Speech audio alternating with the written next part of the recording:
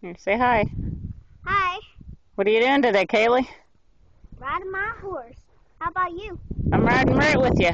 Okay, go on, kick on your horse. and Go ahead of me. He says no. Here, let me get ahead of you, and then I'll video some more of you riding behind me. There you go. Hi. How you doing? Howdy, partner.